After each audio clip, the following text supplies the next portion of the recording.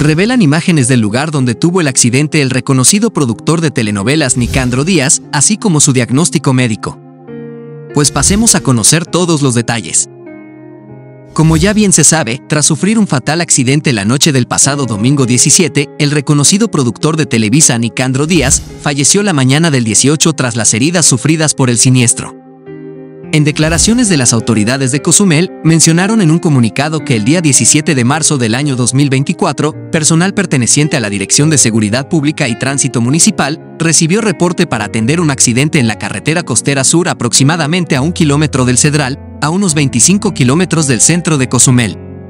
Tras arribar al lugar del hecho alrededor de las 7.57 de la noche horas del domingo, se visualiza a una persona del sexo femenino. A su costado se encontraba una motocicleta de la marca Honda Dio de color amarilla.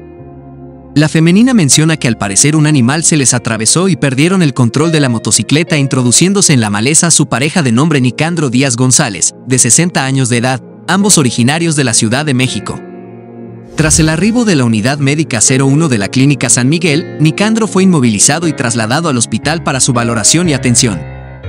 Ahora bien, de acuerdo con testimonio de otros automovilistas que se encontraba transitando por el lugar en el momento del accidente, señalaron que la pareja conducía a una velocidad moderada. Sin embargo, al llegar a la altura del poblado de Cerrar, un mapache cruzó la carretera provocando que el productor perdiera el control de la unidad, cayendo a la vereda del camino.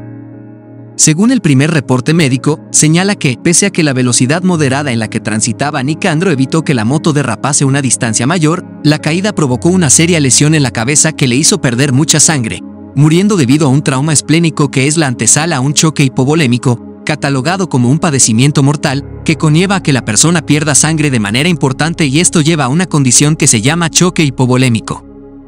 Ahora bien, en las últimas horas, se han dado a conocer las imágenes tanto del lugar y de la moto que iba conduciendo el productor en el momento del accidente que le costó la vida. Fue la cuenta de Facebook de Esquema Cozumel la que dio a conocer un par de fotografías en las que se observa la ambulancia que auxilió a Nicandro Díaz en sus primeros momentos y la motocicleta de la que el productor de Televisa cayó.